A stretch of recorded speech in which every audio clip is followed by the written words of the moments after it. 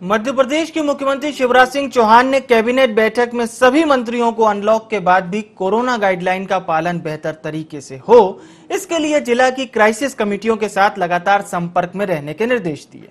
CM Shivraj Singh Chauhan ने चर्चा के दौरान कहा कि कोरोना की रोकथाम में सभी ने बेहतर कार्य किया, लेकिन अनलॉक के बाद अब हमें और भी ज़्यादा सावधान रहने की ज़रूरत है।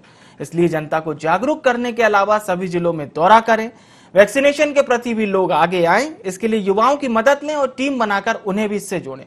तभी जाकर हम कोरोना से न सिर्फ़ बचेंगे, बल्कि उसकी बेहतर रोकथाम भी कर सकेंगे। दो बातें और कहना चाहता हूँ। एक, आप अपनी तरफ़ से प्रचार कैसे हो सकता है? आपकी वॉइस रिकॉर्ड होके हो सकता हो। तरीके क्या क्या हो सकते हैं? देखिए, एक तो आप करें। कुछ मैं करूँगा कुछ विधायकों से करवाएँ उनकी अपील का असर होता है। एक हम योजना आज बैठ के बना लें कि राज्य के महाविद्यालयों में उच्च शिक्षा मंत्री मोहन यादव जी बैठे हुए हैं। और टेक्निकल एजुकेशन भी यशोधरा जी भी जुड़ी होंगी। ये जो बड़े बच्चे हैं हमारे इनकी बड़ी संख्या महाविद्यालयों में 18 लाख विद्यार्थी है। 9000 प्राध्यापक है। इन विद्यार्थी और प्राध्यापकों को कोविड अनुकूल व्यवहार के संबंध में मास्टर ट्रेनर के रूप में हम ट्रेनिंग दें।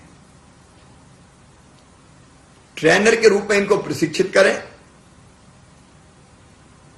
और इनके जिम्मे हम नागरिक पचास पचास या सौ जो भी उपयुक्त समझे कर दें। कोविड के अनुकूल व्यवहार के लिए। और ये प्रशिक्षित हमारे विद्यार्थी और प्राध्यापक अलग अलग माध्यमों से कोविड के अनुकूल व्यवहार के लिए और टीकाकरण के लिए लोगों को जागरूक करें। तो ये छात्र शक्ति है, उसका उपयोग।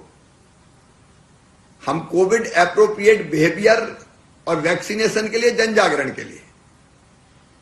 हम इनका कर सकते हैं।